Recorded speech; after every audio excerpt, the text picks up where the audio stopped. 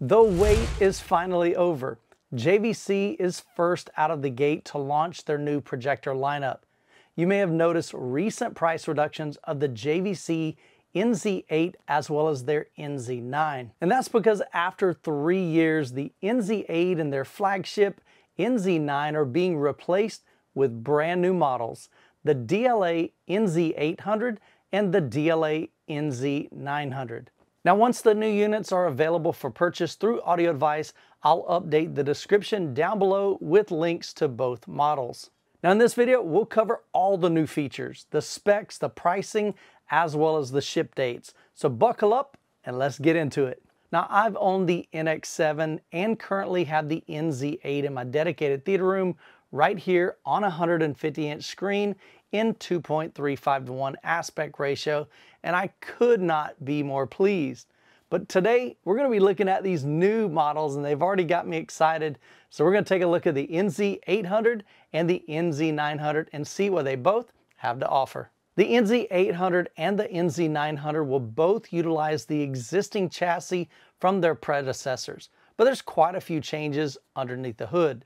The new models will both feature the new third generation native 4K DILA devices and a Gen 2 8K eShift X that can project an 8192 by 4320 image and a blue essence laser that is rated up to 20,000 hours at half brightness. Both new models will continue to use the FrameAdapt 2 which analyzes the different peak brightness per scene or per frame for HDR10 content, and it provides real-time tone mapping for optimized brightness, color, and details. The NZ800 and the NZ900 have dual 48 gigabit per second HDMI inputs with support for up to 4K 120 and 8K 60. Combine the 4K 120 with their low latency mode, and that makes both units great for gaming. So let's compare the differences between the NZ8 and the NZ800. The NZ8 has a peak brightness of 2500 lumens. The new NZ800 will have a peak brightness of 2700 lumens from the Blue Essence Laser Phosphor Light engine, which is an 8% increase in brightness. The improved brightness will be helpful for achieving proper HDR on screens that are 150 inches and above. The third generation native 4K DILA device provides the NZ800 with a native contrast ratio of 100,000 to 1 compared to 80,000 to 1 from the NZ8, which will provide even better blacks that JVC is known for. JVC has shared that they have made significant improvements in their manufacturing process to provide improved screen uniformity for enhanced image quality. The NZ800 will have an MSRP of 15,999. So how do JVC's flagship models, the NZ9 and the NZ900 compare? The NZ9 has a peak brightness of 3000 lumens.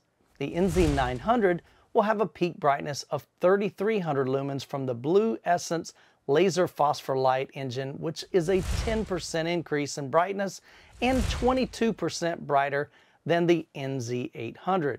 Now, if you're looking to install a massive screen of say maybe 175 inch or larger, the NZ800 just simply won't cut it. You'll need the NZ900 to allow you to still achieve proper HDR levels. The third generation native 4K DILA device provides the NZ900 with a native contrast ratio of 150,000 to 1 compared to 100,000 to 1 from the NZ9. The NZ900 will have an MSRP of $25,999. Now, although both of these new models are still pricey, even after three years, I'm just glad that JVC didn't increase the pricing for the new lineup. The NZ800 and the NZ900 will be available sometime in June. Now, as soon as they're available on Audio Advice, I'll update the description of this video and add a pinned comment with links to both models. Now, if you still need help deciding which model is right for your home theater, take a look at Audio Advice's Projector Calculator. This is a great tool and resource. I'll link to it down in the description below. And they'll also have an in-depth article on this new series with a lot more details that I did not cover here in this video. I'll also link that down in the description below. Now I'd love to hear your thoughts on the new NZ800 and the NZ900 models. If you already own the NZ8, will you be upgrading to the NZ800? For those of you that have the NZ9, will you be upgrading to the NZ900? Now maybe you have a projector from the older NX series or maybe the NZ7. So if so, will you be upgrading to maybe the NZ800 or the NZ900?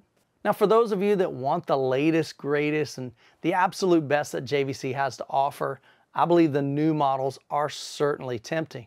And for those of you that are building your home theater and are considering which projector should you buy, I would absolutely consider the NZ800 or the NZ900 for your room.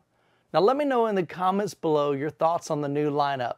And as always, hope you guys have an incredible week. God bless, and we will catch you in the next video.